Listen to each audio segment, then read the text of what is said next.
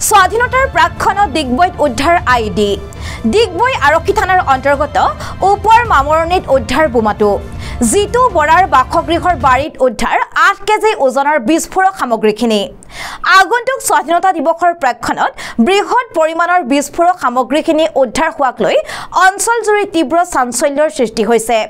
বিশেষ সূত্ৰৰ পম খেদি আৰক্ষীয়ে সন্ধান উলিয়াবলৈ সক্ষম হোৱা বিস্ফোৰক সামগ্ৰীখিনি কোনো অস্ত্ৰধাৰী নিষিদ্ধ ঘোষিত সংগঠনে উক্ত ঠাইত পুতি ৰখাৰ সন্দেহ প্ৰকাশ কৰিছে।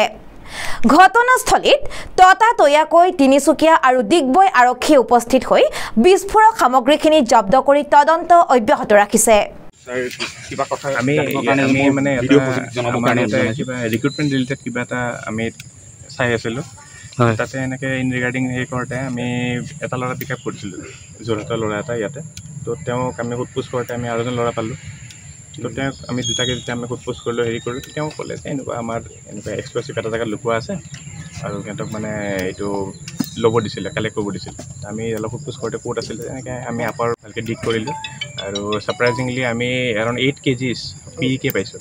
তো ইয়াত ঘৰৰ গৰাকী কিবা হাত আছে বুলি ভাবে নেকি? নাই নাই একচুৱেলি ইহঁতৰ ঘৰত মানে বস্তুটো হ'ল কি একচুৱেলি এইটো থৈছিলে জংকী বুলি এজন যোন এক্টিভ কেডাৰ আছিলে সেইটো আগতে থৈছিলে কিন্তু আজি এইটো মানে এইকেইদিন পোন্ধৰ আগষ্টৰ আগত এইটো মানে ওলাব দিছিলে। ক'ৰবাত ইউজ কি আছে সেইটো আমি গম নাপাওঁ। আমি আৰু সোধ পোছ কৰিলে গম পাম। কিন্তু আমি তাৰপিছত এইটো ওলাওঁতে আমি আঠ কেজি পি কে পাইছোঁ ডেটনেটাৰ পাইছোঁ।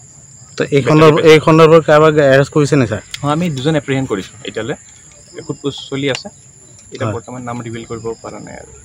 এতিয়া বিস্ফোৰকটো পোৱাৰ পাছত কিবা এই ডিফিউজ কৰি দিছে নেকি?